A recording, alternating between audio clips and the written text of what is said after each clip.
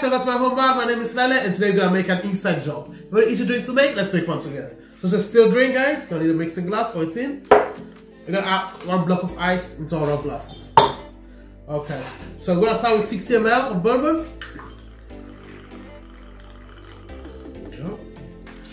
We'll add 7.5 ml of maraschino liqueur. And 7.5 ml of gomme. We're gonna add one dash of absinthe.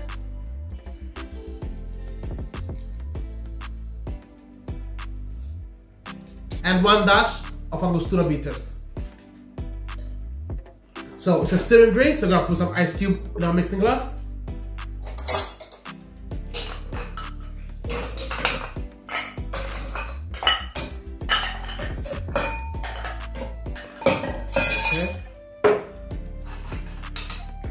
And we're gonna stir our drink from 17 to 20 seconds with a perfect ratio dilution. Guys, just remember to subscribe, like, and comment the videos. Thank you very much for your support. Here we go.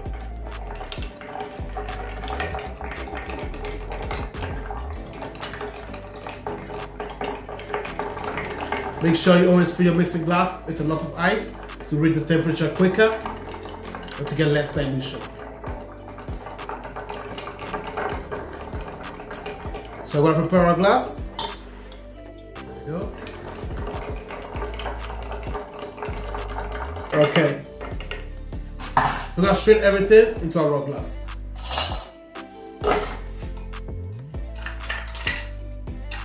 Here we go.